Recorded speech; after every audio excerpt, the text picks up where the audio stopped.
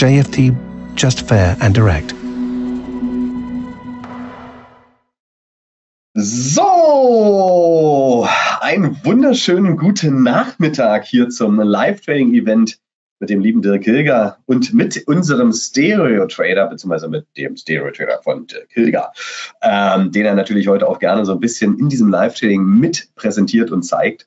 Und somit erstmal an alle herzlich willkommen. Zum einen hier im Webinar auf YouTube. Ähm, und äh, ja, das sind, glaube ich, die zwei. Ich weiß nicht, hast du noch ein Webinar offen? Wir haben technisch ziemlich viel auf die Beine gestellt heute. Und ich hoffe, dass es funktioniert. Somit die Frage an den lieben Dirk. Funktioniert technisch alles? Erstmal. Ich glaube ja. Also ich kann bis jetzt zumindest nichts anderes äh, erkennen. Ich hoffe, das geht äh, bei YouTube, kommt irgendwie auch alles da an, wo es ankommen soll. Aber wenn irgendwas nicht funktioniert, bitte sagt es einfach gerne. Ne? Und, genau, äh, perfekt. Dann, ja, damit wir da irgendwie auch reagieren können. Aber sollte eigentlich alles funktionieren. So, ich freue mich natürlich auch. So, heute mit Bild. Wir sind zwar noch ein bisschen unsortiert im Bild. Der eine sitzt höher, der andere tiefer. Und äh, aber okay, aber wir haben es, glaube ich, immerhin hinbekommen. Und das ist ja auch sehr schön, nachdem ich das letzte Mal ja vergessen habe, äh, tatsächlich äh, den, überhaupt den Markus da unten reinzuschreiben mit Namen, haben wir heute dann dafür das doppelte Programm. So. Und ich hoffe, das funktioniert alles. Ich sehe jetzt hier allerdings noch das Bild vom Stereo Trader. Das ist richtig, ja? Ja, ja, klar. Bei, äh, bei YouTube sollte alles da sein. Perfekt, dann machen wir doch an der Stelle erstmal den Risikohinweis. Da wollten wir ja auch irgendwie das gemeinsam machen. Jetzt kommt für alle der Risikohinweis. genau. Äh, passt das jetzt? Wir, kann ich den Risikohinweis jetzt vorlesen? Natürlich. Lest euch diesen bitte durch. Achtet bitte grundsätzlich darauf, dass ihr natürlich mit Stops arbeitet, dass ihr die Positionsgröße entsprechend an euer Konto anpasst, dass ihr all das, was wir hier sagen, als Setups formulieren und gegebenenfalls vortraden, definitiv nicht als Handelsempfehlung wertet, sondern lediglich als kleine Informationsquelle zusätzlich zu eurem eigenen Trading, zu euren eigenen Analysen und weitere Fragen zum Trading oder aber auch natürlich zum Broker JFT habt, dann wie gewohnt auf der Website von jftbrokers.com. Hier könnt ihr noch diverse Fragen zum Trading oder aber auch natürlich zum Broker beantwortet bekommen. Und dann freue ich mich, dass wir jetzt loslegen. Ähm, von meiner Seite brauche ich gar nicht viel machen. Du stellst jetzt einiges um kurz, dass YouTube auch alles sieht und dann sind wir quasi richtig ja. on air, oder? Ja. Ich bin ein bisschen aufgeregt wegen der Technik, aber eigentlich mehr, weniger wegen dem Markt. Das ist ja irgendwie täglich Brot. Aber die Technik, äh, die, äh, ich kann hier gar nicht irgendwie Augen und Finger genug haben, aber es wird schon irgendwie gut gehen. Perfekt. Da müssen wir, ja. Also wir machen es immer, bleiben hauptsächlich auf meinem Bildschirm. Wenn du dann halt auf deinen gehst und äh, ne, dann äh, oder wir, wenn die Zuschauer, äh, Zuhörer dann eben halt sagen, so okay, wo ist Markus äh, Bild, dann versuche ich das hier noch irgendwie einzufangen. Das konnten wir vorher nicht proben, das kriegen wir aber auch noch irgendwie hin. Kriegen wir hin. Ist, daran wir gehen jetzt, genau, wir gehen im Webinar jetzt zu Dirks Bildschirm. Noch sieht man da nämlich meinen. Ähm, ich werde dann auch später nochmal erklären, was ich da heute so alles fabriziert habe. Aber wir wollen uns ja jetzt erstmal gleich die US-Markteröffnung anschauen. Somit im Webinar geht der Bildschirm jetzt auch noch an den lieben Dirk über und dann sehen all diejenigen, die jetzt im Webinar mit drin sind, ähm, natürlich auch den Bildschirm vom Dirk. So, da ist er. Aber dann muss ich wieder hier so überkrauchen, ne? So. ja, wir bräuchten irgendwie mal so ein paar Kameramänner und Tonmänner und weiß ich nicht was. Ne? Aber es wird schon, das geht schon. So, okay, also, was machen wir heute? Bitte. Hey, komm, ihr mit euren Kommentaren. Jetzt ein bisschen Zurückhaltung hier angesagt, ein bisschen Anstand. Also, was machen wir heute? Markus, Long oder Short? Ist ja auch sonst immer deine Frage. Ähm, also, ich habe es ja gerade, wir hatten ja gerade Wirtschaftskennzahlen um 14 Uhr. Ich muss echt, da guckt man die ganze Zeit, da sind diese Kamera da. So, jetzt, so, warte, so, so, ja, jetzt. Ja. ja. Ähm, wir hatten ja gerade Wirtschaftskennzahlen, die erstmal aus wirtschaftlicher Sicht gut waren, aus Zinssicht schlecht waren. Blöd für die Indizes. Ähm, wir hatten uns das Ganze im Euro-US-Dollar schon angeschaut. Da ist es theoretisch kurzfristig short, mittel bis gleich eigentlich wieder long. Ähm, und wir haben in den Indizes, äh, gerade im S&P 500, was ich mir immer so anschaue, so ein bisschen so eine Art Range, mit der würde ich heute arbeiten. Das sehen wir im Dow Jones auch oben so ein bisschen. Ne? Wir haben quasi so ein bisschen so eine, so eine Zone, wo der sich die ganze Zeit jetzt aufgehalten hat. Ich würde hier gucken, da die Stärke, sind auf All-Time-High-Niveau. Ja, ähm, die Stärke kann natürlich weiterhin Bestand haben. Ich habe zwar so ein bisschen im Bauch eher Short, aber ähm, entweder fake da oben raus, um dann zu shorten, oder aber er geht gleich unten raus und dann in einen Retest in diesen Bereich hinein. Das wären so meine ja. Kernüberlegungen für die Short-Seite. Und Long müsste man mal gucken, wenn der, da würde ich dann nochmal schauen. Ähm, ja. Ich glaube, da sind wir uns sogar weitgehend, äh, weitgehend einig. Also ich habe zwar gestern irgendwie auch, gestern Abend noch gesagt in meinem Stream, eigentlich, wenn das jetzt irgendwie über Nacht äh, laufen würde oder wenn das hier während des Tages passiert wäre, dann wäre ich da einfach nur weiter short gegangen. Ansonsten kann der aber korrigieren, und zwar bis hierhin. Da ist jetzt irgendwie auch schon ein Stück drüber. Meine Überlegung kommt natürlich aus dem Daily. Ich bin ja immer ein großer Freund äh, davon, ähm, eben den, den Daily drüber zu setzen, beziehungsweise eben halt auch das Framing, was wir dort ja dann auch immer wieder sehen. Und da haben wir momentan so ein bisschen eine Umkehr eben nach Short. Und der versucht hier gerade für meine Begriffe eigentlich nicht mehr als das Maximum irgendwie auszuloten nach dieser Tageskerze da von gestern. Und deswegen gehe ich davon aus, wir spiken irgendwie so hoch, wie es geht hier im Vortag, wahrscheinlich irgendwie bis an die Vortageseröffnung und gehen dann wahrscheinlich runter. Das wäre so zumindest mein Ansatz, den ich hier gerne verfolgen würde. Generell hier unten habe ich äh, dann noch so ein, so ein Level, also es ist das ursprüngliche Level, wo wir eigentlich irgendwie äh, hin sollten, nach meinem Dafürhalten, zumindest mal irgendwie gestern Abend, aber über Nacht haben die Asiaten da wahrscheinlich schon wieder irgendwie fleißig gehandelt. Und äh, deswegen sind wir da jetzt so, so ein bisschen drüber über der ganzen Nummer. Äh, wo ich aber gerne hingehen würde, das wäre halt hier nochmal an diesem Punkt, das heißt an die, äh, die 42.030.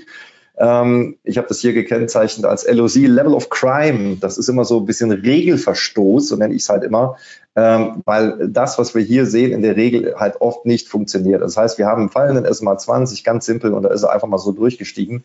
Und das wird dann in der Regel auch nochmal abgeholt. Und deswegen glaube ich halt auch, äh, genau wie du, dass wir eher so ein bisschen Range hier jetzt erstmal finden müssen oder wahrscheinlich auch werden. Ähm, und der Markt, also jetzt wahrscheinlich ein bisschen hoch spiked, aber dann halt relativ schnell darunter kommt auf die 42.018, äh, 42.000, 42.030 um den Bereich rum.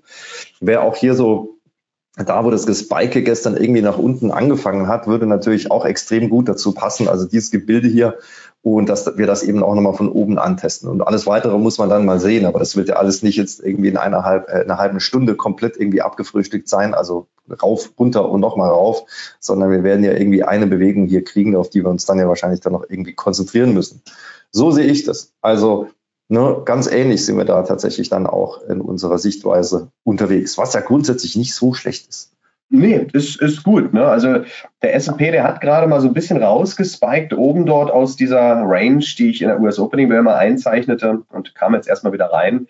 Also wenn da von meiner Seite jetzt irgendwie was kommt ähm, von den Gedanken her, dann würde ich da logischerweise mal reinbrüllen. Ja. Ähm, ich würde jetzt im Euro-US-Dollar den erstmal sein lassen heute. Also wie gesagt, der ist schon long gerichtet jetzt wieder. Und haben wir ja auch gesehen, ich bin halt ein bisschen ungünstig ausgestoppt worden vorhin aus meiner Long-Position mit dem Rest meiner, meiner, meiner noch offenen Position. Aber da würde ich jetzt auch erstmal abwarten, weil die Idee ist eigentlich durch und höchstens, wenn der jetzt nochmal, aktuell stehen wir hier im Bereich 1,1152 äh, ungefähr, wenn der nochmal ähm, so ungefähr 25 Ticks tiefer kommt, also wirklich nochmal an die Tagestiefs rankommt, dann würde ich hier nochmal einen Long, da lege ich mir auch mal einen Alarm rein. Jetzt, ähm, den lege ich mir mal an die 28 oder vielleicht so an die 30. 30 lege ich mir mal den Alarm. Und wenn der jetzt wirklich nochmal nach unten kommen sollte, weil ich würde den, wenn dann überhaupt nur Long nehmen wollen, dann würde ich da unten vielleicht nochmal überlegen für einen Euro US-Dollar. Ähm, so, Dow Jones geht oben raus. Wir haben es jetzt auch gleich 30. Also die Markteröffnung ist noch nicht da. Der drückt genau. ein Stück nach oben. Ja, ich platziere mich da oben mal äh, todesmutig mit einer Limit Short, allerdings als Pullback definiert. Das heißt, wenn wir da drüber springen, ist erstmal nicht so wahnsinnig schlimm, äh, sondern der wird ja dann erst, der, beziehungsweise ist er gar nicht. Moment, die machen wir aber als, als Pullback. Hier mit ein paar Punkten, falls er überhaupt irgendwie darauf kommt. Weil das, ne, gerade irgendwie, wenn vor der Kasse, also das hat immer so, finde ich, zweierlei. Einerseits, ähm, wir haben natürlich hier ein monströses äh, Aufwärtsgap jetzt im, äh, im Kassamarkt. Ähm, und das ist natürlich irgendwie führt eben dazu, dass auch gerne mal Position erstmal schnell abgestoßen oder draufgesprungen wird. Deswegen haben wir die Folgereaktion, die wir jetzt gerade sehen. Die Frage ist nur, äh, macht die Liquidität das mit da oben? Das ist natürlich dann wieder ähm, die Gretchenfrage. Und deswegen gehe ich davon aus, dass das oben auch relativ schnell irgendwie dann auch äh, nicht weiterkommt. So, jetzt wäre natürlich ein bisschen schade, wenn wir das High nicht erreichen. Also würde ich schon gerne irgendwie mal gucken äh, bei der 200, aber viel weiter sollte der eigentlich nicht ohne weiteres kommen. Nicht ohne Gegenwind zumindest. Ist halt nur die Frage, kommt man da, kommt man da jetzt irgendwie sauber rein? Ne? Genau, wir haben jetzt den S&P, der drückt jetzt auch schon so ein Stück nach unten. Also die Markteröffnung ist jetzt durch, ne? Und jetzt kann man natürlich überlegen, will man jetzt sofort irgendwie was machen? Sag mal, ich bin eigentlich eher mal ein Freund davon, erstmal eine Viertelstunde abzuwarten. Aber du bist ja ein bisschen aggressiver unterwegs und ähm, mitunter, mal gucken, jetzt, wenn der jetzt unter die Tiefs geht im S&P, da kann der schon mal erstmal so ein Stück sich einbremsen auf der Unterseite und erstmal wieder anziehen. Ähm, ja, wie Sie noch bin ich jetzt nicht gewillt, da unbedingt gleich raufzudrücken, aber ähm, kurzfristig sollte der S&P jetzt erstmal wieder ein bisschen kurz, kurz Boden finden und dann mal gucken, ob der sich oben das Ganze nochmal anschaut. Ja. Könnte für mhm. dich sein, dass der oben dann vielleicht auch der Dauer oben nochmal reinkommt. Ja, wäre sehr nett, wenn er das machen würde. Meistens ist der Markt ja leider nicht nett. Und äh, auch, ich meine, sieht man ja hier schon, ne? Irgendwie, wenn man da jetzt mit einer Stop-Order runtergegangen wäre, wird man jetzt irgendwie auch schon gerade bisschen schräg aus der Wäsche gucken.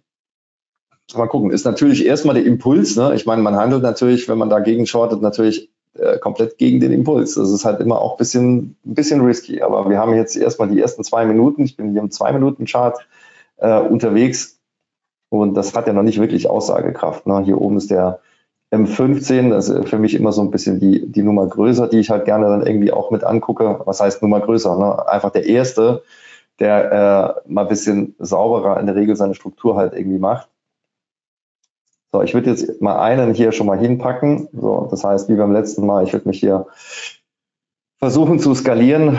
Äh, fange da erstmal mit einem relativ großen Stop an hm, und mal gucken, ob wir da halt äh, jetzt dann irgendwie nochmal direkt runterkommen oder ob jetzt hier nur so ein bisschen Reaktion sehen. Das wäre natürlich sehr schade, wenn es nur ein bisschen Reaktion wäre. Aber mal gucken. Erstmal ist es ja ganz okay, weil der muss das natürlich nicht komplett da oben erreichen, nur wenn ich das dahin gezeichnet habe. Das ist ja eher so, wo ich sage, ja, das ist das Maximum einfach von dem, was da halt möglich ist für meine Begriffe. Und äh, das muss er jetzt nicht unbedingt ausreizen. Ne? So, also erstmal, Reaktion ist da, wobei wir noch nicht da oben gewesen sind, wo ich eigentlich hin will. Das ist halt auch klar. Das heißt, deswegen habe ich auch noch eine Order da oben drüber, würde dann aber halt eben, wenn er komplett oben durchziehen sollte, was ich nicht glaube, würde ich da aber auch erstmal äh, wieder rausgehen. Ne? Also jetzt hier nicht, äh, das Thema hatten wir schon ein paar Mal, irgendwie blind verbilligen oder so, da bin ich kein Fan davon.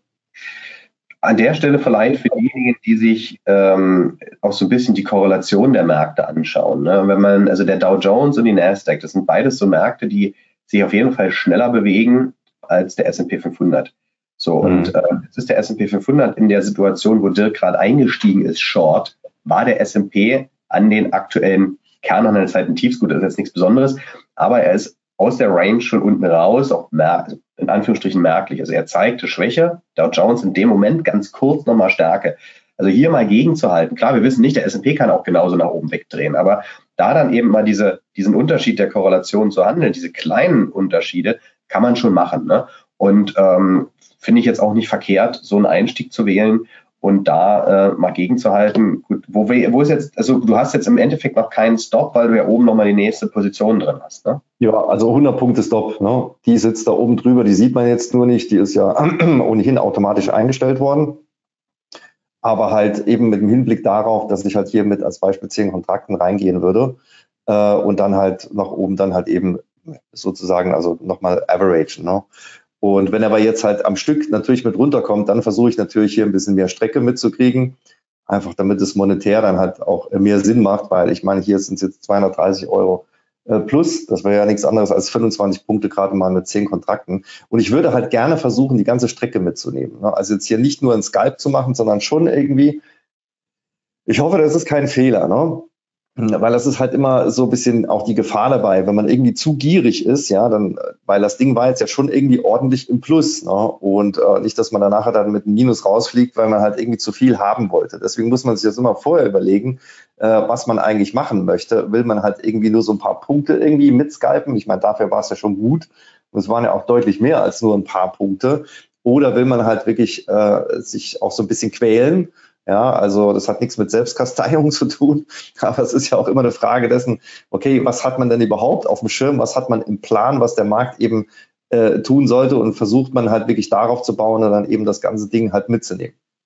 Das würde ich jetzt hier mal machen. Wenn es jetzt nur darum ging, im Live-Trading zu punkten, ja, dann hätte ich schon längst auf den Knopf gedrückt und hätte dann gesagt, siehst du, passt doch, wieder 20 Punkte, danke, tschüss. Aber ich will das halt hier jetzt mal ein bisschen anders versuchen Und es kann natürlich ein Fehler sein. Deswegen habe ich oder haben wir ja auch am Anfang ähm, nicht nur den Risikohinweis eingeblendet, sondern ja auch gesagt, ne, bitte nicht einfach nachmachen. Das ist schon immer ganz wichtig eben auch. Ähm, genau. Die, also ich hatte ja eine Überlegung, ich würde mal ganz kurz meinen Bildschirm nehmen wollen. Ähm, ja. Dann versuche ich mal, ob ich, das hin, ob ich das hinbekomme, ja. Ja, okay. So. Ähm, ich suche mal ganz kurz den Livestream raus.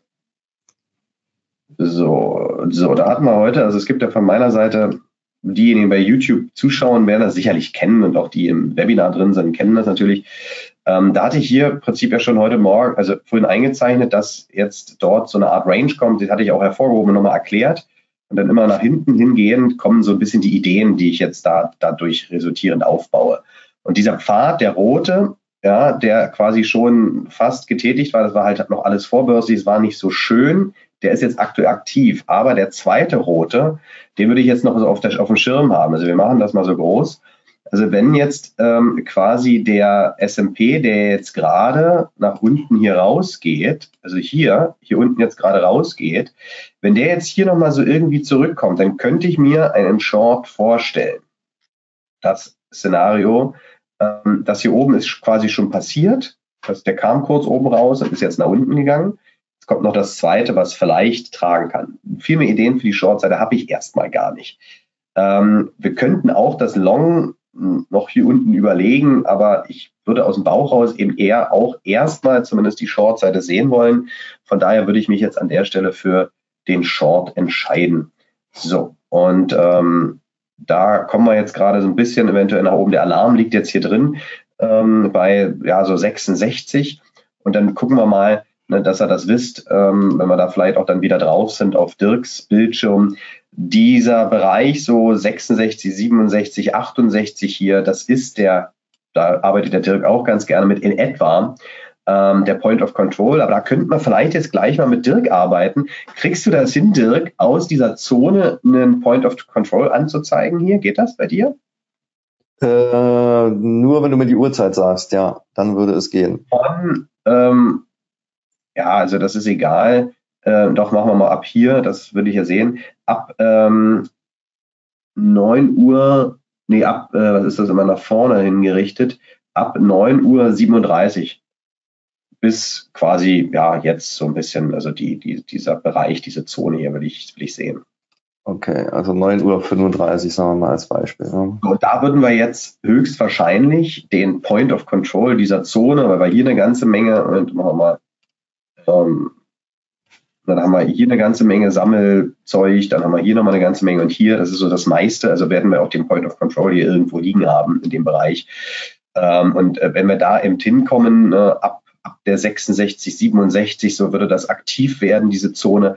Da könnte ich mir halt dann, Moment, dann eben dieser, diesen, diesen Short-Gedanken, den ich vorhin schematisch eingezeichnet habe, so könnte ich mir das vorstellen. Ne? Und da warte ich jetzt auf, dass das idealerweise kommt und da dann eine Drehung kommt und ich da dann auch idealerweise wieder mit einem kleinen Risiko reinkomme. Wenn der direkt nach unten abpfeift, habe ich halt Pech gehabt. Da habe ich vorhin vorne diese ersten Gedanken hier oben, den habe ich halt nicht bekommen. Da wollte ich auch noch nicht, weil es vorbörslich war. Da war man noch vorhin in der, ähm, im, in der US Opening Welt drin, beziehungsweise das war, glaube ich, sogar noch zu Ende des Webinars. Ähm, und da, das ist mir der Kurs vor der US Opening Welt also, auch ja. knapp. Aber du bist jetzt natürlich im S&P, ne? Also ich habe jetzt gerade hier das Ganze im Down gemacht, also habe ich äh, ein bisschen falsch verstanden. Ach so, aber ja. Geht natürlich auch, ne? Klar. So, ich würde mal ganz, darf ich nochmal äh, wechseln auf mein Bild, weil der Trade läuft jetzt ja gerade so ein bisschen auch an. So, siehst du dich jetzt gerade selber, aber das müsste jetzt hier nochmal das, das Bild dann sein. Ne? So, er hat oben die, äh, die zweite Order nicht ganz erreicht, ähm, nur äh, knapp davor, deswegen ist die nicht mehr da. Ähm, aber man hat es ja vorhin gesehen, sind wir im richtigen Bild? Ja, okay. So, und deswegen bin ich hier mit zwei Kontrakten rein, statt mit äh, den ganzen fünf, weil er die nicht ganz erreicht hat. Also äh, ein bisschen tiefer skaliert als geplant. Aber wir sehen jetzt erstmal genau die Reaktion, die wir halt haben wollten. Ich zeige es auch mal, ich zeige es nicht. Hä, wo ist es denn? Ja, jetzt geht hier, Moment, das muss ich mal kurz überlegen, warum zeigt er meinen Stundenchart hier nicht an, da unten in der Ecke? Na egal, das ist jetzt so eine kleine technische Herausforderung, die ist jetzt aber, glaube ich, nicht so wahnsinnig wichtig, beziehungsweise ich kann ja mal irgendwie kurz zurückschalten hierhin. Hier sieht man es ja, ne? da oben halt das Level, äh, das ist halt ja, ne, über einen Punkt reden wir jetzt nicht, aber halt erreicht. Und ich warte immer noch drauf, dass wir hier runterrutschen, eben auf die 42.030, dann halt mit einem Impuls, der dann halt wahrscheinlich äh, zum Ende der Stunde hin dann halt eben kommen sollte. Und deswegen, ne, nur um das eben nochmal zu verdeutlichen, ähm, habe ich das jetzt hier, äh, habe ich mich für die Skalierung entschieden, weil ich schon glaube, dass wir da halt nochmal irgendwie ein bisschen Dampf kriegen werden. Das ist natürlich ein bisschen ich will gar nicht mal sagen riskanter. Riskanter ist es nicht. Es ist einfach nur, es dauert ein bisschen länger. Ne? Man muss ein bisschen mehr Sitzfleisch haben, ein bisschen mehr Geduld haben. Oft, äh, wenn auch nicht immer, äh, ist das aber halt durchaus zielführend, wenn man dann halt, gerade wie der Markt jetzt, ne, wenn er einen nicht ganz genau abholt ne, und wenn man es nicht ganz genau eingrenzen kann, sind es jetzt oben irgendwie plus minus zehn Punkte, finde ich das halt immer irgendwie so eine Art und Weise, das zu machen, die halt durchaus jetzt nicht so doof ist. Und wir sehen ja auch, ne, der Markt reagiert ja. Da oben ging es nicht weiter, da war die Liquidität, so wie es jetzt aussieht, endgültig zu Ende. Und wenn wir jetzt noch ein neues Tief kriegen, da unten runter, und dann sieht das eigentlich gut aus, dann müssen wir nur noch 100 Punkte fallen, dann haben wir das ganze Ding hier eingetötet. Wäre schön. Wäre schön, sehr schön. Es kommt an dich eine Frage hier vom Klaus an Dirk, an Dirk die Frage, da du ja eben auch vor allem den Dow Jones handelst, mit welchem SL gehst du rein, wenn es sich nicht, ist relativ klein, deswegen stottere ich so ein bisschen, äh, wenn es sich nicht um eine Live-Session handelt, aufgrund von neuen Zahlen, also ich weiß jetzt nicht, was neue Zahlen jetzt bedeutet, da muss man ja natürlich den SL ein bisschen weiterhalten.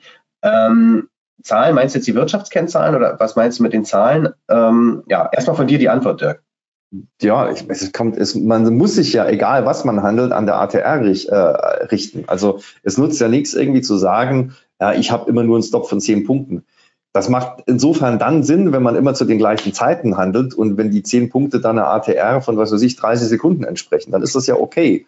Äh, da ist da nichts dagegen zu sagen. Aber wenn man unterschiedliche, also so sehe ich das zumindest, wenn man unterschiedliche Handelsansätze verfolgt, wie jetzt zum Beispiel hier, ich meine, hier ist äh, irgendwie 100 Punkte Stop, das kann man ja nicht machen, wenn man irgendwie scalpt. Ne? Dann fliegt einem das ja äh, regelmäßig dann um die Ohren.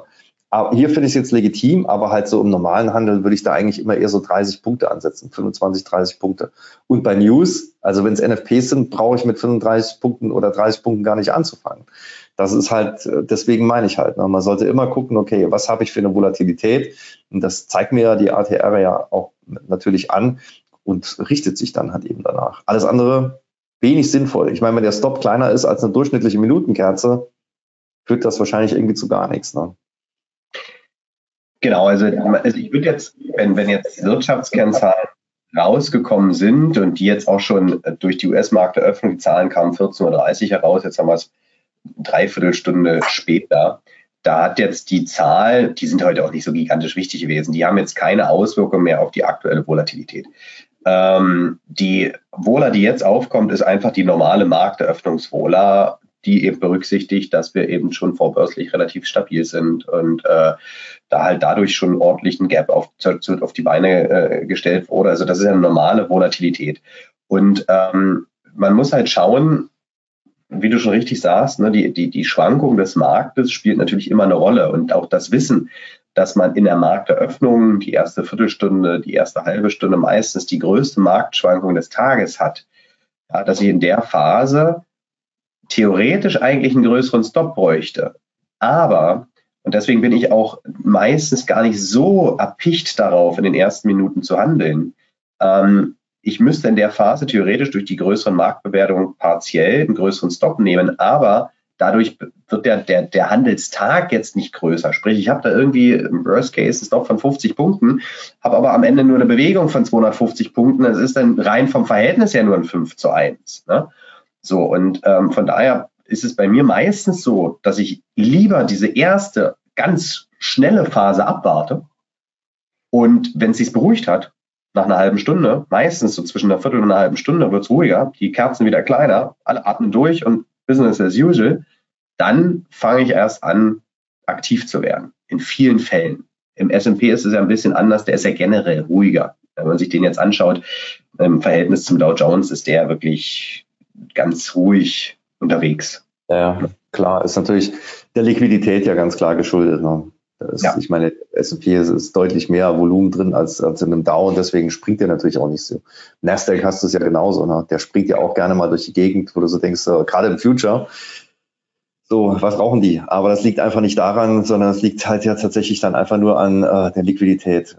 So, was wir jetzt hier sehen, äh, M15, finde ich nicht so gut, wie der geschlossen hat. Der wäre mir lieber gewesen, der hätte irgendwie in Rot geschlossen, ist jetzt aber auch nicht unbedingt äh, ein K.O.-Kriterium äh, für den Trade, weil was ich jetzt hier sehe ist, ich habe hier unten ja auch noch das VPOC ähm, drin, das zeigt mir die Value Area ähm, zwar auf festgesetzte Zeiten an, also für den ganzen Tag, aber eben am Future gemessen. Ne? Das ist kein Tickvolumen. Auch der Point of Control kommt nicht aus dem Tickvolumen, sondern das kommt vom Future. Und das ist, wie gesagt, das, das ist ein Add-on, was hier reinspielt. Und da hat er ja gerade nicht mehr gemacht, als eben ganz genau da oben angesetzt. Also das wird alles in Echtzeit umgerechnet und da sieht man auch, okay, Präzision eindeutig da. Hier unten der Point of Control, ne, der in äh, Orange. Wenn sie jetzt da nicht weitergeht, müsste es eigentlich dann halt gleich nochmal einen Schub dahin kriegen. Ansonsten, wenn er sich jetzt aber versucht, da oben drüber rauszuschrauben, über die Value Area, also das heißt über den Haupthandelsbereich oder über die Range, die das Volumen uns äh, bis jetzt hier vorgegeben hat, dann wird es natürlich schwierig mit, Long, äh, mit Short. Ähm, also zumindest mal kurzfristig. Das, äh, das heißt nicht, dass wir dann den ganzen Tag da oben drüber ausbrechen. Das heißt aber, dass es jetzt erstmal dann halt ein bisschen schwierig wird. Und dann muss man sich halt schon überlegen, okay, will ich den jetzt noch haben? Macht das jetzt noch Sinn? Kriege ich den in der nächsten Stunde dahin, wo ich den haben will, den Markt? Oder sage ich dann halt nicht lieber mal, ja gut, dann machen wir halt irgendwie Mama Pause und dann setzt man halt eben nachher nochmal. Ne, nochmal, wenn es jetzt nur darum geht, hier ein paar Punkte mitzuschneiden, dann jetzt auf den Punkt, äh, auf den Knopf drücken und dann hat man irgendwie zumindest nichts falsch gemacht. Ne? Hast du jetzt da oben den Stop schon auf dem durchschnittlichen Einstieg oder sehe ich das, oder was ist das jetzt da? Oder ist das der durchschnittliche das, Einstieg? Das ist, nee, das ist der durchschnittliche Einstieg, genau, der Break-Even halt. Ne? So, ich kann natürlich auch hingehen, könnte jetzt sagen, ich nehme nochmal irgendwie die, äh, die zwei Kontrakte hier raus, die ich irgendwie zusätzlich gekauft habe, kann ich natürlich auch machen. Hm, um dann halt äh, meinen Gesamtbreak-Even halt so ein bisschen zu verbessern. Ne? Also er klebt hier schon so ein bisschen nervig, finde ich, irgendwie da dran rum, aber guck mal, wenn er jetzt hochkommen würde, nochmal, also er stützt dich hier irgendwie, das finde ich ein bisschen anstrengend, ehrlich gesagt. Das heißt, ich würde es jetzt so machen, wenn wir da oben drüber laufen, dann nehme ich den, den, äh, den zweiten, den kleinen da oben mal weg oder nehme halt einfach die Hälfte weg. Kann man ja auch machen. Und dann halt mal sehen, ob er das wirklich ernst meint. Ne, also das heißt, ich gehe hier nicht long, sondern nehme hier die Hälfte jetzt einfach erstmal raus. Der Gesamtposition ähm, jetzt. Genau, ne, sind jetzt irgendwie gerade sieben Kontrakte drin. Und äh, muss das ja nicht unbedingt unnötig komplett irgendwie nach oben mitziehen, das Risiko. Wobei man natürlich jetzt auch hier schon hätte dann irgendwie rausgehen können, als es sich hier so gewehrt hat. Ne, ist halt auch klar. Aber es sieht so ein bisschen anstrengend aus für Short. Ne? Das war beim DAX heute Morgen ja auch irgendwie ganz ähnlich. Ne? Jetzt sieht man, jetzt ist der Gesamtbreak-Even ist nach oben gerutscht ähm, und so, dass die Position immer noch ein Plus ist. Und ich könnte jetzt natürlich dann auch einfach eins drüber dann nochmal die Position nochmal zusammenbauen. Oder auch hier drunter, falls er sich jetzt doch irgendwie nochmal begnügt, irgendwie das da oben sein zu lassen. Ne? Weil das kann natürlich auch sein, das ist ja halt klar, ne? man setzt irgendwie einen Stop über ein High und was wird als erstes genommen? Der Stop über ein High. Das ist ja irgendwie das Normalste der Welt. Und äh, deswegen auch nicht zu sehr davon beeindrucken lassen, aber wenn jetzt hier, ne, das ist für mich entscheidend, hier die, die Value Area einfach, um zu sehen, okay, wir krabbeln da drüber raus, weil dann wird es anstrengend. Wie, was ich sagen wollte, ist, wir haben es im DAX ja irgendwie fast genauso gehabt heute Morgen. Ne? Erstmal raufgeballert, äh, auch mit einem riesen Gap im, im Kassamarkt. Und dann halt erstmal sah es ein bisschen schwach aus. Und dann hat er aber nachher oben einfach äh, rumgest weiter rumgestänkert die ganze Zeit. Ne? Und äh, das kann natürlich hier genauso sein, dass da halt eben äh, der Markt ist jetzt einfach hier nur festklemmt und weil eben zu viele Short-Positionen im Markt sind oder warum auch immer und das dann erstmal halt äh, irgendwie nicht weitergeht. Ne? Hm. Aber es ist natürlich, also ich, ich bin schon noch der Meinung, also dass der das heute noch machen wird, ja. Ich weiß nur nicht, ob es jetzt hier während des Webinars halt noch passiert. Das ist ja das, was wir uns natürlich wünschen. Ähm, aber halt, äh, das kann natürlich eben auch sein, dass es halt eben noch ein bisschen dauert, beziehungsweise dann halt irgendwie weiß der Geier, wann kommt. In der Regel ja dann abends um 21.30 Uhr. Wie, jetzt fällt es mir gerade ein, weil gab es da nicht mal ein Lied von Wolfgang Petri? Weiß der Geier oder weiß er nicht? Ganz egal, ob der Trade aufgeht oder nicht. Ja, genau, das war richtig. ja, ja, aufgehen wird der schon, ne? aber wie gesagt, so die Frage, wann, das ist der zeitliche Faktor, ist immer der schwierigste. Man kann ja immer nur mit dem arbeiten, was man hat. Ich habe jetzt hier nochmal zwei reingetan, ja, weil jetzt hier oben da auch schon wieder die Liquidität da oben weg gewesen ist. Und ähm, deswegen, aber immer mit Vorsicht, also nicht übertreiben das ganze Ding. Und nochmal, ne, wer es nicht lassen konnte, irgendwie nachzuhandeln, der äh, kann äh, natürlich hier jederzeit auf den, auf den Knopf drücken und hat Geld verdient. Ne, weil bis jetzt war ja alles richtig. Ne. Gut, wenn man hier unten long gegangen ist, war es auch richtig, auch keine Frage. Ne. Es geht immer darum, was wir uns hier vorstellen, der Markus und ich. Wir, äh, ich würde mal, ähm, du kannst ja schnell rumbrüllen, wenn, wenn da bei dir wieder was passiert, ähm, wenn du irgendwas machst. Ich würde nochmal bei mir draufgehen auf den DAX kurz. Dann, da kam jetzt vom Lutz nochmal eine Frage, was der da treibt. Ähm, da gehen wir mal kurz nochmal auf meinen Bildschirm, so und so. Und jetzt müsste das, glaube ich, auch bei YouTube wieder zu sehen sein, richtig? Ja. Perfekt. Ähm, was treibt der DAX da? Ja, also er ist auf neuen All-Time-Highs. Wir haben mit äh, satten großen Schritten die 19.000 überschritten. Ähm, und was sehen wir in den US-Märkten? Wir sehen All-Time-Highs. Wir sehen den, den, den S&P, wir sehen den Nasdaq äh, und wir sehen den Dow Jones stark sein. Und das macht der DAX auch. Ähm, und der, der, zieht natürlich da mit. Ne? Und ähm, hat er heute Morgen auch ein ordentliches Gap auf der Aufwärtsseite gesehen. Und äh, jetzt muss ich hier nochmal schauen. Ich bin noch mit meinem neuen Rechner ein bisschen überfordert zugegebenermaßen. Ähm, irgendwo hatten wir, nee, das hatten wir, glaube ich, hier nicht, das war der Bereich. Ähm, wir hatten ja mal darüber gesprochen, dass der jetzt natürlich auf der Oberseite durchaus Puffer hat. Ne? Ähm, und da ist ja jetzt, da ist ja nichts mehr, was irgendwie aufholt. Und wenn im Endeffekt die US-Märkte ja logischerweise stark sind und auch aktuell ja hier irgendwo Stärke symbolisieren, ja, dann ist natürlich der DAX auch stark. Ne? Und vor allem ist ein kleiner Punkt, den man sich vielleicht mal merken kann. Wenn in China oder aus China was Positives kommt, dann ist das für den DAX ein Hauch mehr positiv zu werden als für die US-Märkte. Ähm, und der nimmt jetzt wahrscheinlich diese China-Thematik aus der Nacht auch so ein bisschen weiterhin positiv mit. Am Ende ist es halt, der läuft aufwärts. Ne? Und ähm, da jetzt eben natürlich, wenn man da anfängt, gegenzuhalten, stark gegenzuhalten, muss man halt ein bisschen aufpassen. Ne? Ähm, ich habe es heute zweimal getan, zweimal gegengehalten und habe äh, 0,4 R verloren oder so bei zwei Trades. Ja, kann man ja kurz raufgeben. Ähm, das war sehr, sehr aggressiv, was ich da heute gemacht habe. Ähm, und nee, Quatsch, wir müssen hier hinten gucken. Da war das ja logischerweise. Und dann müssen wir nach hinten scrollen, Minutenchart. Nee, warte mal. Quatsch. Hier. Hier. Wo ist es denn? Ah nee, hier müssen wir das wieder einstellen. Ach Gott. So, da. So. Äh, jetzt doch nach drüben scrollen. Da sind wir. Und zwar habe ich heute Morgen direkt um 9 Uhr mit der Öffnung versucht. Ähm, da kam ganz kurz dann die Reaktion hier auf der Unterseite. Ja, war ich allerdings in etwa nur ein R vorne, habe den dann aufs Hoch nachgezogen, habe hier in etwa ein, ein halbes R verloren und habe dann hier quasi nochmal den Short-Versuch gewagt. Der lief dann besser an, ja, war etwa 3R vorne, habe den Stop of Break-Even plus 1 gepackt und habe hier dann eben Mühe, wie damals der, wie immer der liebe Andreas Bernstein gesagt hat, einen Döner, ja, verdient, vorher ein halbes R verloren. Also war hier summa summarum minimalst, minimalst im negativen Bereich. Habe allerdings mit Abstand dann, äh, das ja, das hatte ich ja, glaube ich, schon gezeigt, ne, mit Abstand das dann eben im Euro-US-Dollar rausgeholt. Ja. Ähm, da war halt? Also ich habe da ein knappes halbes R verloren und ich habe es noch gar nicht zusammengerechnet, aber hier waren es irgendwie 6, 7 R, die ich verdient habe. Also da ist erstmal für den heutigen Tag alles im Bereich zu meinem Risiko. Und hier unten im Euro-US-Dollar ist halt das Risiko, ne, das, das ist ja das, was mein Trading ausmacht. Ne, das Risiko ist das hier unten. Das war das Risiko. Der Stop lag ganz knapp hier drunter, unter diesem Tief. Da auch einen Screenshot von gemacht. Und, äh, hier. Ja, und wir hatten diese Überlegung dazu, die hatten wir heute Morgen im Devisenradar um 39 aufgebaut. Ähm, also da und das hat heute mal das Geld gebracht. Ja, und klar gibt es jetzt vielleicht auch noch eine Möglichkeit im S&P, mal schauen.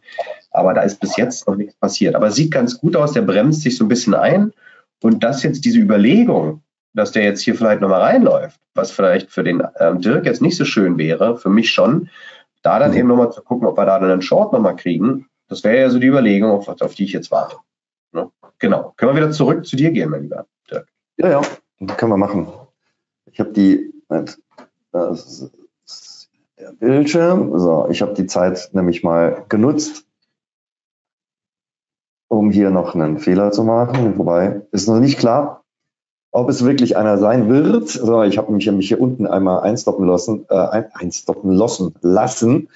Nochmal irgendwie mit äh, zwei Kontrakten ist aber dann erstmal wieder hoch. Aber okay, er drückt jetzt erstmal nach unten, würde bei hier unten dann auch noch wieder anfangen, irgendwie auszuskalieren. Ne? Ich warte hier eigentlich auf den Spike, auf den V-Bob, beziehungsweise hier das, äh, das letzte Low.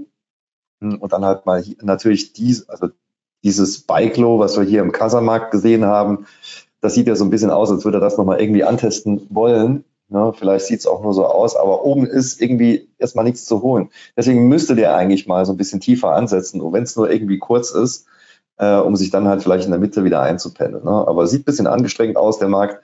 Und jetzt rein vom, ähm, vom Bild her hier, von, äh, von dem, was auch vorher schon gewesen ist, wäre natürlich hier unten, das wäre halt so das, das äh, nächste Low, was überhaupt dann halt rein vom Bild her interessant ist. Aber vom Volumen her interessant wäre jetzt eben der Versuch, hier durch den VWAP durchzukommen, beziehungsweise jetzt hier einfach mal die Value Area auf der Unterseite anzutesten. Oberseite haben wir gehabt, hat nicht geklappt. Jetzt sind wir am Point of Control zurück. Jetzt gucken wir mal in die Unterseite.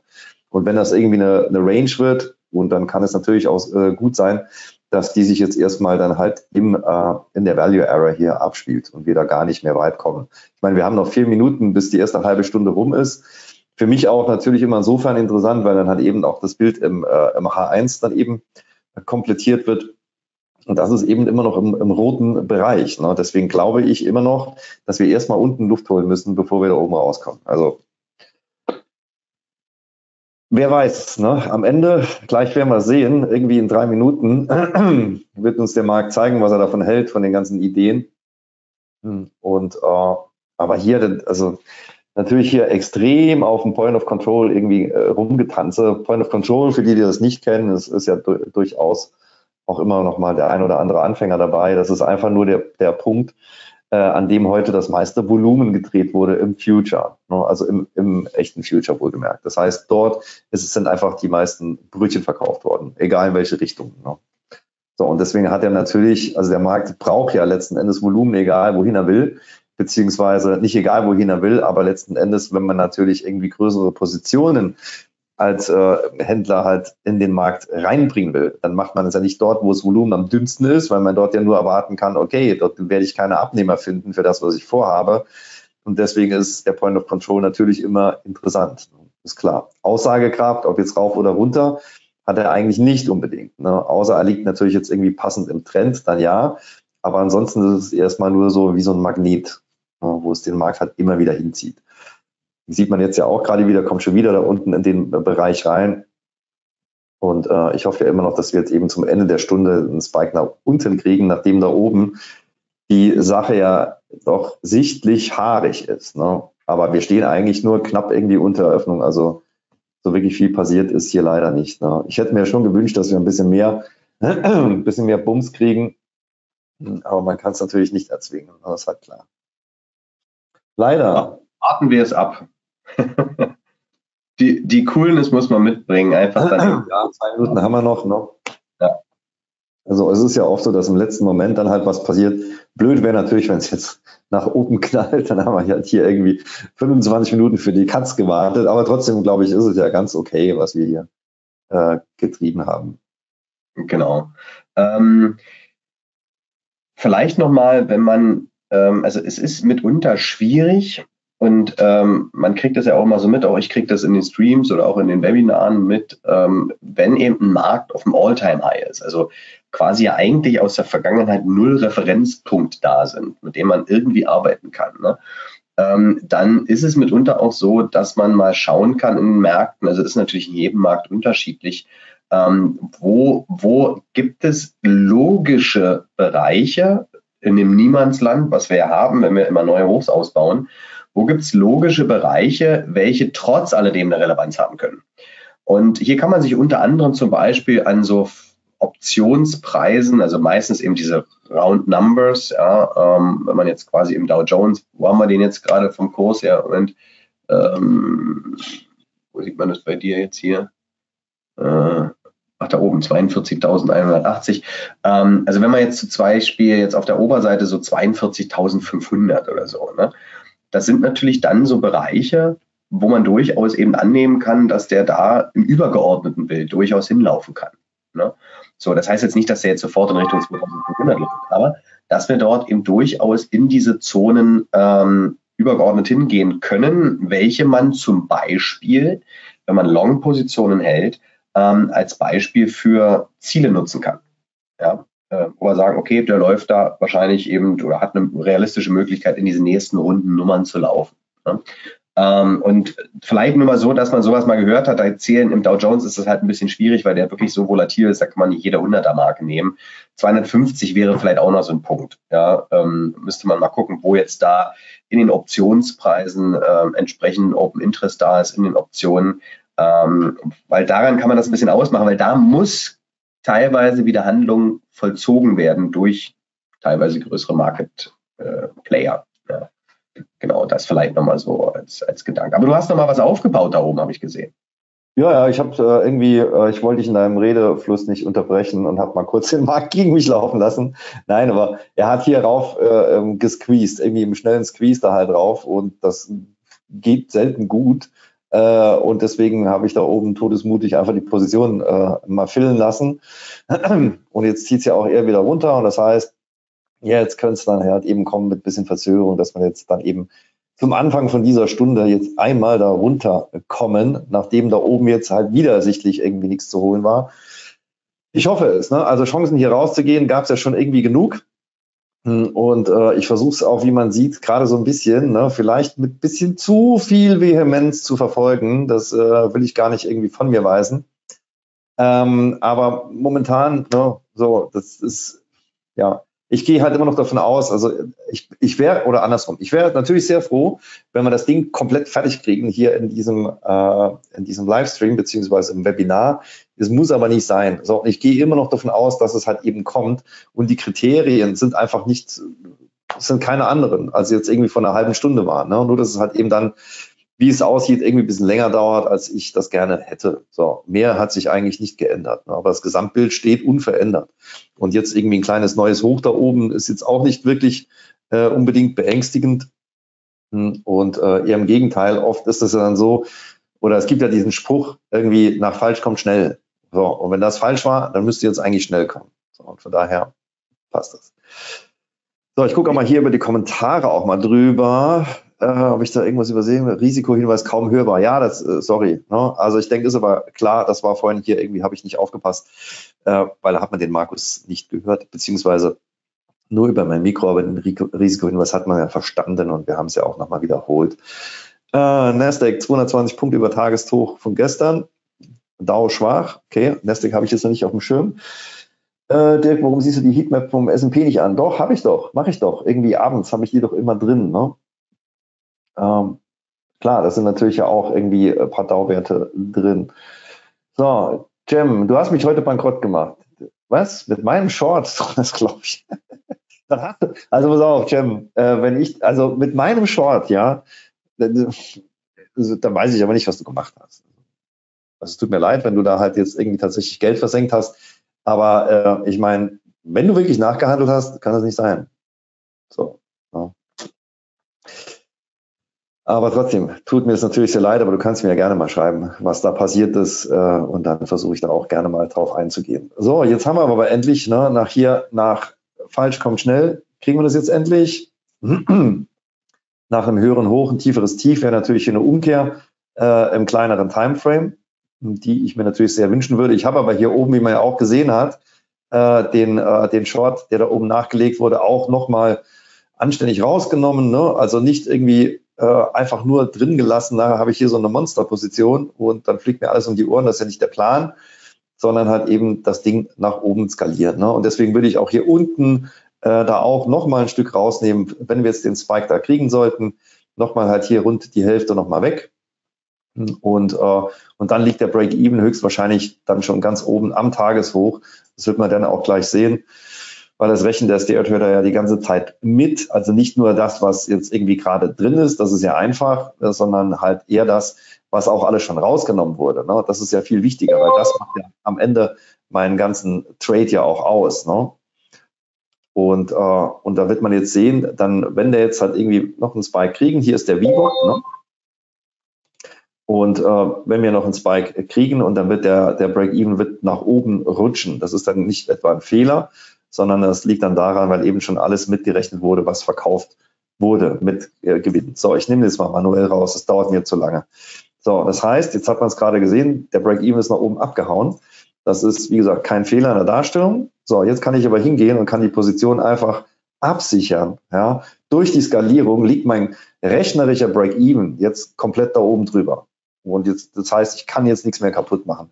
Und das war halt auch so generell das, das Ziel, ähm, wie ich diesen Trade halt irgendwie gerne handeln würde, nämlich halt eben per Average da oben rein, hier ein paar Positionen raus. Dadurch habe ich mein Break-Even äh, im Nirvana von heute, wo der Markt noch nie war. Und wenn er jetzt nochmal ein neues Tageshoch macht, dann sage ich halt, naja gut, dann bin ich halt mit ein paar Punkten da raus.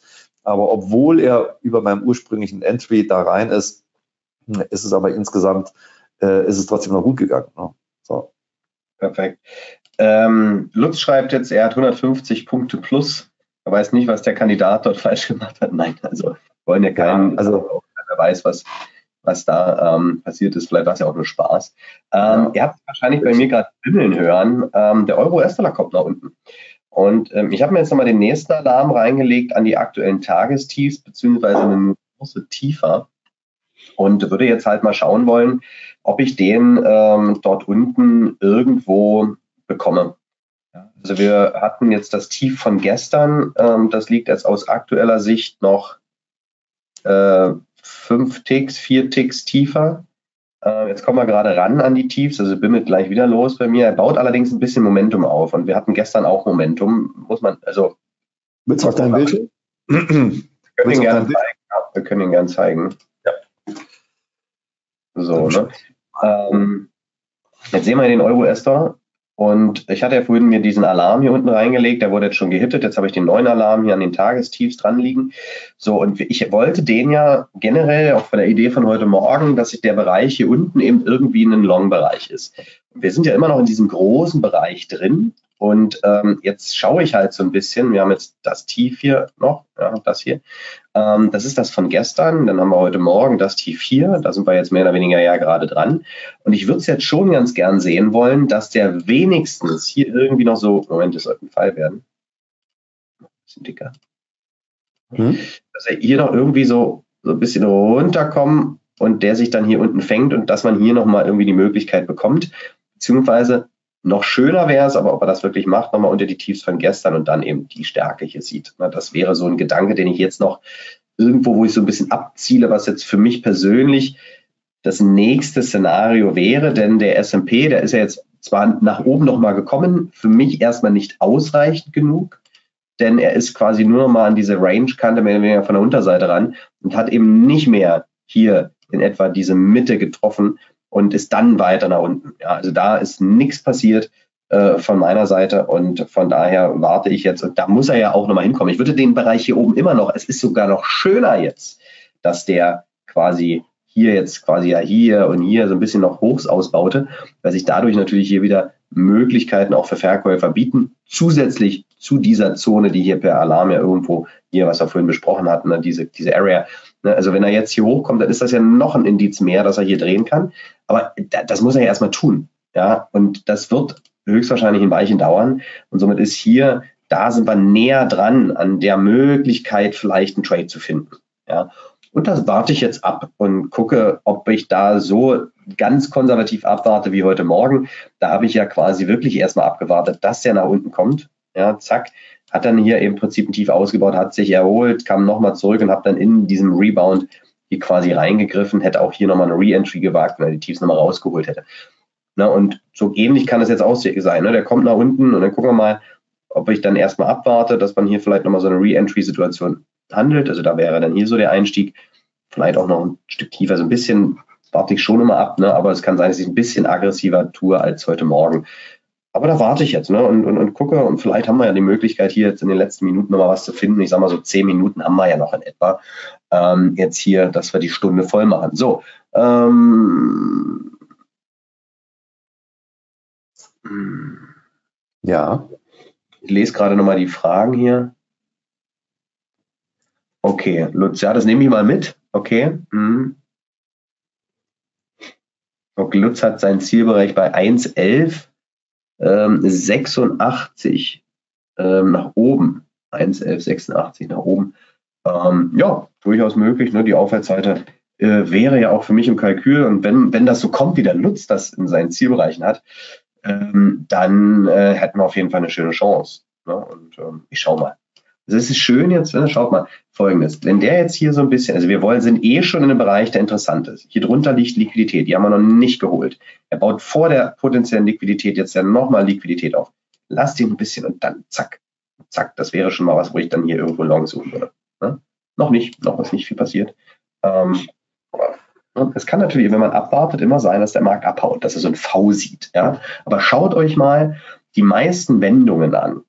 Die sind in der Regel nicht eine grüne Kerze hoch und sofort wieder nur rot zurück, also klassische V oder umgekehrtes V, sondern in den meisten Fällen, also sowas hier und dann direkt nach oben, passiert in den meisten Fällen nicht, sondern äh, fängt so ein bisschen auch auf der Oberseite oder auf der Unterseite, er fängt erstmal an, so ein bisschen schwächer, doch nochmal ein Tief, ja, Klar, auch mal hier so eine V-Situation, aber meistens ist es irgendwie langsamer.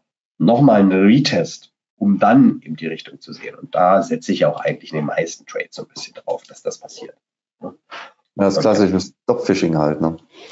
Genau. Also was, was man ähm, äh, ja, gerne so bezeichnet, was aber halt auch immer so ein bisschen fragwürdig ist. Ne? So, es wird ja oft irgendwie gesagt, ja, es ist äh, irgendwie Absicht, um die Retailer da rauszuholen.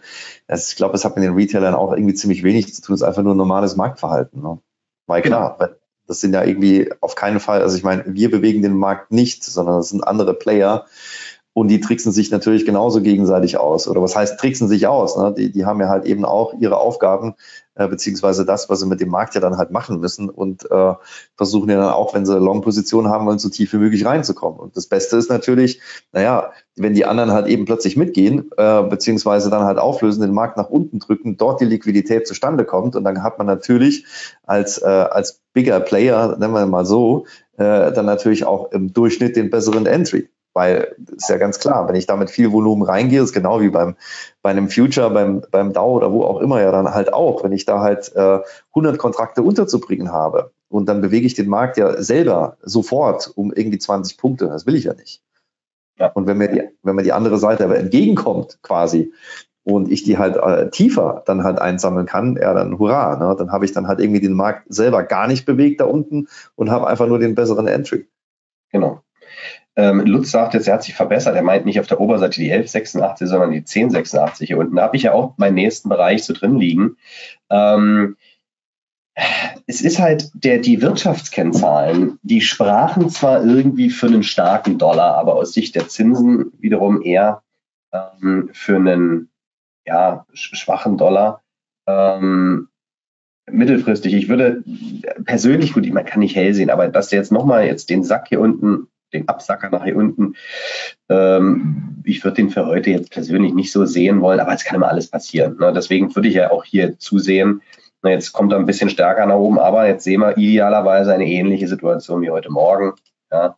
Ähm, na, der kam erstmal nach oben, jetzt irgendwie nochmal zurück.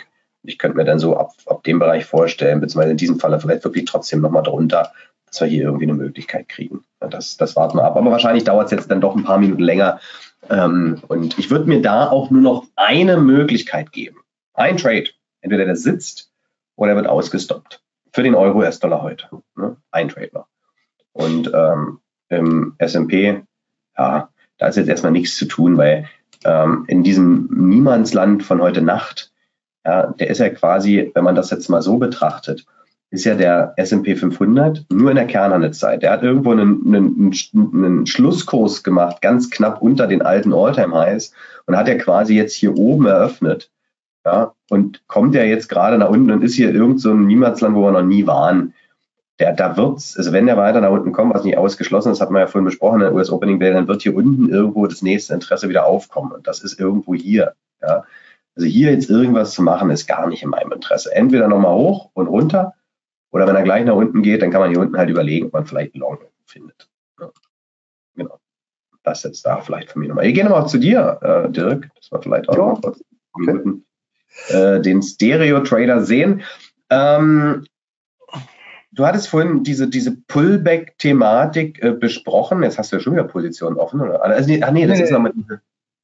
Nee, nee, ich habe nur hier unten, ist ein bisschen, also gar nicht umgebaut, sondern hier würde ich halt nochmal irgendwie einen Short irgendwie reingeben, weil wir, wir haben jetzt eigentlich genau das gesehen, was wir vorhin beschrieben haben. Ne? Also, dass halt hier einfach nur die Value Area Low, genau dieses, wo er auch hier aufgesetzt hat im Future, bevor die Kasse aufgemacht hat, hier das Value Area Low, klar, ne? Also, was heißt klar? Aber das ist halt so ein typisches Ding. Value Area High klappt nicht. So, Point of Control, okay. Nächster Punkt und dann Value Area Low. So, und dann wieder ab in die Mitte. Und jetzt sind wir gleich wieder in der Mitte.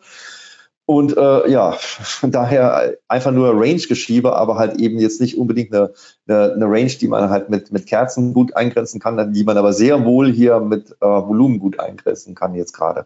Und deswegen auch hier nicht weiter verwunderlich. Ich würde aber trotzdem immer noch, ne, ich meine, an, äh, an der Grundidee lasse ich nicht ab. Und äh, auch vom, vom Prinzip her das, was der Markus gerade beschrieben hat, ist ja eigentlich genau das, was wir hier gesehen haben, nur ein bisschen schneller eigentlich, ne? dass der Markt ja eben nicht, ne, sondern nach oben läuft und dann halt brav nach unten läuft, sondern genau diese Dinge halt. Das heißt, da oben erstmal ein bisschen die Liquidität irgendwie abholt, dann das Volumen nutzt und dann halt die eigentliche Richtung halt irgendwie anzugehen. Und das hat er eigentlich hier genauso gemacht. Also korrigiere mich, wenn ich äh, da deinen Vortrag irgendwie missinterpretiere. Aber ich bin der Meinung, es ist genau das Gleiche, was wir hier sehen. Wir sehen es halt nur nicht so deutlich, weil wir jetzt hier einen Spike haben. Das heißt, es ging schneller, ja. Ähm, aber das Prinzip ist exakt dasselbe, finde genau. ich halt. Ne? Genau. Und deswegen würde ich auch hier tippen, dass wir hier genau das Gleiche sehen werden, nämlich, dass wir jetzt einmal runtergehen und dann kann er immer noch machen, äh, was er will, ja. Und ich will ja nur bis da unten hin, bis an dieses Level, egal wie lange das dauert. Da will ich halt nochmal hin und ich glaube auch nicht, dass dieses das so sauber, dass das hier jetzt einfach mal so stehen bleibt und jetzt korrigieren wir brav nach oben. Das ist ja eher nicht der Fall. Was wir hier sehen, oben im M15, deswegen habe ich den immer drin, ist für mich so diese Nervlinie, äh, also EMA 200, äh, keine Ahnung, das ist irgendwie so, ich habe den kennengelernt vor zehn Jahren und seither ist der immer irgendwie drin. Ich weiß nie so recht, was ich damit anfangen soll. Ich sehe aber nur, äh, dass der Markt den immer irgendwie ganz toll findet, aber ohne, jegliche, ohne jegliche Relevanz, sagen wir es mal so. Er bremst dann jetzt hier mal, dann weiß man, okay, der hat jetzt irgendwie auch noch gerade dazu gepasst. Aber ich würde jetzt nicht so handeln nach dem Motto, naja, schließt drüber, dann muss er long, er schließt drunter, dann muss er short oder irgend sowas. Sondern es ist einfach nur so, da weiß ich, okay, da wird der Markt in der Regel ein bisschen nervig. Und deswegen habe ich die da halt drin. So, hier würde ich halt nochmal, wie ich ja gerade schon gesagt habe, ne, nochmal ein bisschen ausbauen. Eben darauf bauen, dass wir da, da unten äh, nochmal runterkommen. Von daher kann man hier nichts Neues mehr erzählen. Aber was ich halt sehe, ist, ähm, dass halt zumindest doch einige äh, ja auch gepunktet haben. Ne? Also der Lutz hat ja dir auch gerade was gesteckt über GoToWebinar, hier bei GoToWebinar, äh, bei, bei YouTube ja auch. Ne? Ähm, Lasatoria meint, Dirk, dein Target ist 42.030 oder 41.600. Naja, ne, wir sind halt äh, generell deutlich höher heute gestartet, als ich das gestern vermutet hätte. Ne? Und er hat sich ja, also generell schon noch die 41.600, aber es sind von hier jetzt mal eben 500 Punkte runter. Ne? Und dazu müsste er natürlich erstmal wieder den Bereich da unten verkaufen, wo ich jetzt erstmal hin will. Wenn das gelingt, wenn wir dort dann irgendwie mit äh, wirklich mit äh, bisschen Druck unten durchgehen, das würde aber auch nicht von jetzt auf gleich passieren. Und dann kann es halt sein, oder beziehungsweise dann ist die Chance für die 41.600 auch nochmal da. Nur, ne, wir haben ja vorhin das Thema gehabt mit, äh, mit den Asiaten, da halt eben über Nacht ist halt einfach viel passiert. Ähm, die Märkte stehen halt einfach viel, viel höher. Genauso kann es sein, dass der sich jetzt hier in der Range fest frisst, ja, und da heute irgendwie gar nichts mehr passiert und dann wir morgen nochmal nach oben laufen. Ne? Das kann natürlich genauso gut sein. Das wird man halt einfach sehen müssen. Man kann ja halt immer nur, deswegen ist das mit den Analysen ja auch immer so ein bisschen, will jetzt nicht sagen Banane, ne? aber wenn man halt Zeiten hat, äh, wie momentan, oder wir hatten das letztens ja auch, da macht man morgens den Chart auf äh, und dann, dann steht der DAX irgendwie 200 Punkte höher irgendwie als äh, am Tag davor oder 200 Punkte tiefer. Dann kann man abends so viel orakeln, wie man will, ja. Das bringt halt nichts, weil halt ja einfach der asiatische Markt eher dann halt eben den Markt genauso mitmacht wie halt eben der europäische und der US-Markt. Und äh, scheinbar haben wir augenblicklich auch wieder die Situation, gestern war es doch genauso, ne? Gestern irgendwie äh, 100 Punkte zu tief gestartet, heute irgendwie 100 Punkte zu hoch gestartet. Also zu hoch in Anführungszeichen, aber halt höher, als eben die Kasse aufgehört hat zu handeln. Und das ist halt nicht gewöhnlich. Normal ist es ja eher so, dass halt irgendwie dann äh, nach Kassaschluss, also vor allen Dingen im, im DAX, eigentlich nicht so wahnsinnig viel mehr passiert. Ne? Zumal ja auch die Zeitspanne, wo der Future zumacht, äh, macht, bis die Kasse aufmacht, ist ja nicht so ultra lang, wie das zum Beispiel im DAO der Fall ist. Ne? Also der DAX macht um äh, zwei Uhr irgendwas, macht er wieder auf, sechs Stunden später, sechseinhalb Stunden später ist die Kasse dabei. Der Dow Future macht um 11 Uhr zu und 15 Stunden später ist die Kasse halt wieder dabei. Ne? Und deswegen kann man das halt nicht wirklich vergleichen oder beziehungsweise macht es halt von der Analytik her deutlich schwieriger. Ja. Ähm, du hast jetzt für unten da, du hast jetzt Take Profit für alles da drin liegen, ja? Oder nee? Zwei. Nee, also ich habe hier unten, würde ich mal zwei äh, Kontrakte nochmal rausnehmen, wenn er hier einen Spike runter macht gleichzeitig hier den Trail aktivieren, aber erstmal mit einem Abstand von 20 Punkten, um dann zu sehen, wenn wir darunter schieben, bleibe ich drin. Ansonsten, um jetzt nicht unbedingt direkt genau im Take Profit da unten rauszugehen, weil ich nicht weiß, ob das jetzt wirklich da unten dann das Ende ist, wenn der jetzt hier dieses Low rausnimmt. Und mhm. dann halt mal sehen, vielleicht kriegen wir noch ein paar Punkte mehr, wenn nicht, aber generell das Target ja ist, ist unverändert natürlich hier. Aber ja, klemmt erstmal nur irgendwie fest. Und ich denke mal, so lange werden wir auch nicht mehr machen. Ne? Vielleicht noch irgendwie zehn Minuten. Mal gucken, vielleicht kriegen wir die Bewegung ja, bis Ja, man kann ja jetzt im Prinzip nur beobachten. Ich hatte ja erwähnt, von meiner Seite ist jetzt erstmal gar nichts zu tun. Ähm, und ähm, wir können jetzt natürlich noch ein bisschen die Position beobachten. Ansonsten gibt es von eurer Seite Fragen vielleicht noch. Das wäre ja nochmal was. Ähm, dass wir vielleicht nochmal die ein oder andere Frage. Ich gehe nochmal durch. Hier steht eine ganze Menge drin, aber ich glaube, das meiste ist quasi, da bin ich schon drauf eingegangen. Ähm, ja, der, der Gringo fragt hier gerade, gibt es die Möglichkeit im MT5 und Stereo Profit in Euro per Klick? Also meinst du Durchschnitt pro Trade? Ähm, oder wie? Das geht alles, ja. Das kann man alles anzeigen. Vielleicht, Dirk, sagst du noch mal ein bisschen was zum Stereo Trader, wer den jetzt nicht kennt. Also es ist ja so, vielleicht kurz von meiner Seite, ähm, wenn man bei JFD ein Konto eröffnet, hat man die Möglichkeit, den Stereo Trader for free zu bekommen. Ähm, so muss man den bezahlen, Dirk. Ne? Wenn man den haben möchte, kriegt man den, aber muss man bezahlen, oder? Bei JFD oder wie? Generell, generell, wenn man jetzt. Achso, generell, ja klar. Also man kann ihn halt entweder, klar, man kann ihn halt äh, sozusagen äh, direkt mieten über, über Digistore, beziehungsweise geht auch über die Homepage, aber halt äh, es ist natürlich wesentlich klüger, dann halt irgendwie äh, bei JFD ein Konto aufzumachen und sich den von JFD bezahlen zu lassen. Genau. Also der kann dadurch nicht weniger, das ist, äh, ist klar, ne? aber nein, das ist auch deswegen klüger, weil man natürlich dann auch den Support äh, von JFD und so weiter dann eben mit dabei hat und wenn halt mal, keine Ahnung, irgendwas mit dem Konto ist oder was auch immer, hat man halt einen Ansprechpartner und muss da halt nicht von A nach B. Ne? Ähm, und der Stereo Trader, ihr seht ja, das ist halt nochmal ein zusätzliches ja, man kann schon sagen, eigentlich ein völlig unabhängiges Programm, was zwar im Hintergrund den MetaTrader hat, aber man hat natürlich diverse Möglichkeiten, umfangreiche Möglichkeiten, mit seinem Trading noch ganz schön äh, viel machen zu können, gerade was eben die Positionsskalierung betrifft, was Teil-Take-Profite betrifft, was eben auch Add-ons betrifft, um sich mehr anzeigen zu lassen. Ähm, vielleicht von deiner Seite nochmal, das war in einfachen Worten von mir, aber vielleicht von dir nochmal so ein bisschen detaillierter. Was sind so die Key Points, die du so hervorheben würdest den, den, also vom Stereo Trader? Also ich glaube halt wirklich, dass das, das Money Management, vor allen Dingen im schnellen Trading, im Day Trading, ne? ich meine, man sieht es ja hier, wie, wie ich das ja auch mache die ganze Zeit. Das ist auf jeden Fall halt eine Sache, die macht einem das Leben einfach leichter. Man muss sich nicht drüber Gedanken machen, wo habe ich was zugemacht, ja, wo stehe ich jetzt überhaupt insgesamt äh, und äh, ne, also rechnerisch Break-Even zum Beispiel, wenn man einen Trade zum Beispiel so halt macht. Äh, also das finde ich halt einen Riesenvorteil einfach. Also das ist so ein Ding, was ich immer den totalen Killer finde, irgendwie bei allen anderen Anwendungen, dass man halt irgendwie, oder fast allen, dass man halt immer irgendwie dauernd irgendwie rechnen muss. Ne? So, jetzt kommt er hier runter, das ist doch schön. Ne? Guck einer an. Ähm, und dass man halt irgendwie dauernd rechnen muss, finde ich so ein bisschen anstrengend. Und das nimmt einem der Stereo Trader halt äh, erstmal ab. Und, äh, und dann ansonsten, dass ich halt auch sagen kann, ja, zum, zum Beispiel hier, ich kann ja auch irgendwie mein Exit ja auch automatisieren ne? und kann ja dann zum Beispiel sagen, ja, okay, nach so viel Verlust egal ob ich jetzt da einen Stop habe oder nicht. Das heißt, ich muss gar keinen Stop-Loss setzen. Ich kann den auch monetär hier zum Beispiel einstellen. Kann dann sagen, ja, bei, was weiß ich, zwei Prozent äh, bin ich dann halt irgendwie raus, äh, minus oder bei zwei Prozent Profit. Ich kann es nach Equity machen. Ich kann mich abends um, um 21.59 Uhr pünktlich rausnehmen lassen. Ähm, das heißt also, die ganze, so die ganze Stressabteilung, die mit Zahlen zu tun hat, die nimmt einem äh, der Stereo Trader, glaube ich, schon ganz gut ab. Und dann auch ansonsten, äh, also Key Features, klar, Limit Pullback Order immer noch irgendwie äh, die beliebteste Funktion. Vielleicht kriegen wir es jetzt hier ja auch zu sehen. Ähm, und dann, äh, die würde dazu führen, der steht jetzt auf äh, sieben Punkte. Ähm, wenn der Markt jetzt hier hinkommt, muss er erstmal sieben Punkte rückwärts laufen, bevor die Order gefüllt wird. Aber auch, das ist ja auch schon wieder so ein Ding. Order fillen, ähm, wenn man jetzt zum Beispiel das mit dem Metatrader macht, dann hätte man hier plötzlich eine, eine Long Hedge Position. Und das äh, macht der Stereo Trader ja nicht, sondern der verrechnet das ja. Man kann aber auch hedgen, ja. Ich sage nur, was, was der halt machen kann, ja. Und aber bei mir ist es immer per Standard so eingestellt, dass ich halt äh, keine Hedge-Position mache, sondern halt hier immer alles miteinander verrechnet wird. Und auch das geht nicht ohne weiteres dann halt eben im, äh, ähm, im Metatrader, ne? ohne den, den Stereo Trader. Okay.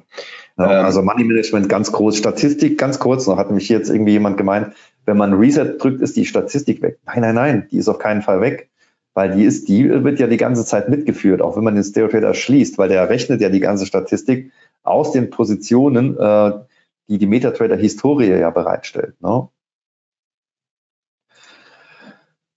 Ja. Also da kann man schon eine Menge machen. Ne? Das ist der Punkt. Man muss allerdings, ne, das, da bin ich ja immer so, man muss natürlich aufpassen, dass man nicht, nicht, nicht anfängt rumzuspielen und irgendwelche sinnlosen Sachen macht, sondern schon guckt, okay, was macht für mein Trading Sinn?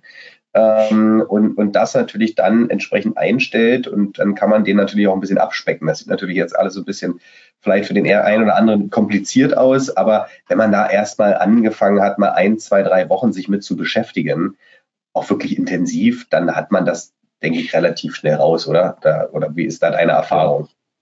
Also das Ding ist, äh, ich sehe es halt, ne, um jetzt äh, hier mal so, das ist zwar eigentlich die Marketingabteilung, aber das Ding ist, äh, es gibt ja zum Beispiel so Statistiken irgendwie über Nutzerverhalten und ich sehe halt zum Beispiel, dass wir im Stereo Trader tatsächlich zweieinhalb, also dass die Leute zweieinhalb Mal mehr länger beim Handeln dabei bleiben äh, als jetzt äh, ohne, ja, also als jetzt im, im, vergleichbaren Durchschnitt.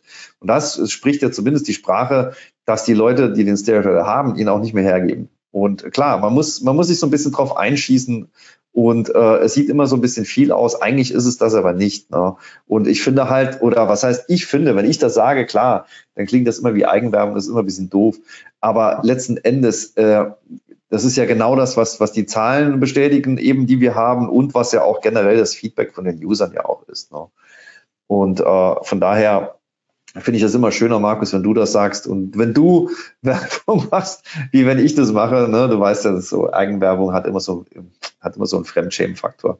Ja, aber deswegen habe ich dir auch darum gebeten, weil ich bin ja offen und ehrlich, ich habe, ich kenne den Stereo Trader schon Jahre, habe ihn ähm, allerdings eben noch nie umfangreich genutzt. Äh, und wir sind dabei, dann in den nächsten Monaten das dann vielleicht auch bei mir mal zu installieren. Und ähm, dann für mich ist immer wichtig, dass, dass ich das Ding auch wirklich dann, so wie ich es brauche, für mich, das wird nicht, ich werde kaum die ganzen Funktionen nutzen, aber die eine oder andere schon.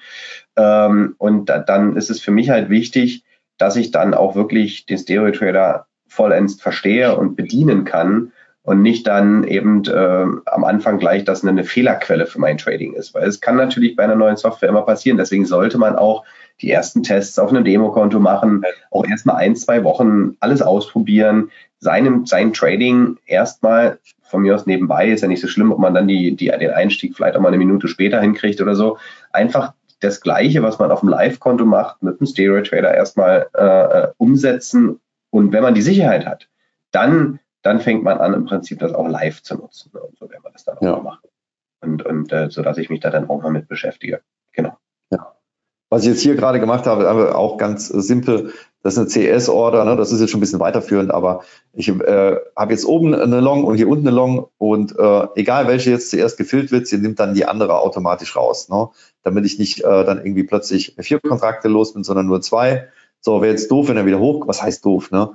Aber halt dann dauert es noch ein bisschen länger, wenn er wieder hochkommt. Und äh, aber dann ist unten die erstmal weg, wird man jetzt sehen, falls das macht. Und falls er doch zuerst runtergeht, dann ist oben die Long Order weg. Das sind so kleine Automationen, ne, die man halt eben machen kann. Und dann natürlich so Geschichten wie Trading Stop, die ich ja hier gerne demonstriert hätte. Aber wenn der Markt jetzt zeitlich äh, nicht so ganz mitspielt, wie ich mir das vorstelle, dann muss ich halt damit leben. Heißt sonst OCO, ne? One cancel the other, oder? Die dieses cancelt die andere so? Ja, genau. Also CS ist Cancel Same, CO ist Cancel Opposite oder other. Ja, jetzt hat man es gesehen, ne? Beide weg. Die, also die untere ist gelöscht worden, die hier ist gefillt worden, Trade ist aber immer noch aktiv. Break-Even ist jetzt noch mal ein Stück höher gerutscht. Ne? Jetzt liegt er da oben mittlerweile. Ja, auf jeden Fall. So kann man es halt machen. Ne? Aber wir haben hier Range. Wir haben es ja so ein bisschen vermutet, dass wir Range kriegen. Jetzt haben wir sie halt und jetzt ist es halt so.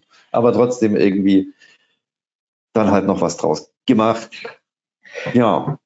Schaut nochmal, wir brauchen es jetzt gar nicht nochmal machen, aber wir hatten ja mehrfach auf den Euro-US-Dollar jetzt aufgeschaut. Der ist erstmal in der Tat ein bisschen stärker nach oben gekommen, aber die Idee gilt immer noch. Schaut euch mal den Bereich 1125, 1126, 1124, also dieser Bereich der aktuellen Tiefs von heute Morgen, von jetzt am Nachmittag an. Das ist ein interessanter Bereich. Und da, ich bin ja jetzt auch selbst noch ein Weilchen am Rechner und ähm, mache jetzt ein paar andere Sachen im Büro, habe meinen Alarm da drin liegen und blicke jetzt natürlich nicht jede Sekunde auf den Chart. Aber wenn der Alarm bimmelt, dann bin ich ruckzuck da und würde da schon, ich sage mal so in etwa bis 17.30 Uhr, also noch eine Stunde, ja doch 17.30 Uhr heute würde ich so machen. Äh, bis dahin würde ich die Idee noch aufbauen, danach nicht mehr, weil dann einfach nach hinten raus ähm, es ruhiger meistens auch im Forex-Markt wird. Und ähm, dann warte ich lieber auf morgen und gucke, dass ich morgen eine Möglichkeit finde. Ne? Genau. Dirk, es hat mir sehr viel Spaß gemacht. Ja, mit mir auch, Tito, wie immer. Und äh, im nächsten Monat haben wir auch, ähm, da haben wir eine kleine Überraschung, denn da werden auch wieder zwei Webinare mit dir und dem Stereo-Trailer, mit dem Stereo-Trailer stattfinden. Aber nur eines mit mir. Und du wirst einen zweiten Protagonisten haben ähm, nächsten Monat. Und da freue ich mich auch richtig drauf, dass er dabei ist. Und äh, seid gespannt. Und äh, ja, besten Dank dafür, Dirk. Euch allen erstmal wunderbaren Rest Handelstag. Und dann hören wir uns, lesen wir mal ganz kurz, ähm, genau, hören wir uns quasi morgen früh, DAX Long oder Short auf YouTube wieder hier bei JFD. Und dann bin ich erstmal äh, unterwegs und am Wochenende gibt es eine Trading-Wochenanalyse und nächste Woche sind wir dann auch mit den Streams und Webinaren wieder da. Dirk, besten Dank, euch vielen Dank, bye bye und ciao. Ja, auch von meiner Seite Dankeschön und äh, Trade ist noch auf. Ich glaube, es ist auch alles gesagt und wie der Markus schon gesagt hat, wir sehen uns auf jeden Fall wieder zusammen. Einmal leider nicht, aber das macht der Andreas, oder? Habe ich das richtig verstanden? Jetzt hast du es verraten. Nein, ja? Ja. Das ist ein Geheimnis. Jetzt aber mehr. die meisten haben eh schon abgeschaltet bei der Werbung, von daher. Nein, ich freue mich auf jeden Fall, wenn wir es wieder zusammen machen. Hat ganz viel Spaß gemacht. Dankeschön. Bis zum nächsten Mal. Wir sehen uns, äh, also bei mir, ne, bei Markus wisst ihr jetzt schon, bei mir, wir sehen uns heute Abend um 22.30 Uhr und dann gucken wir uns nochmal an, was draus geworden ist und was als nächstes draus werden wird. So, also, kann ich auch nur sagen. Ciao. Bis, bis zum nächsten Mal. Tschüss. Tschüss. JFD, just fair and direct.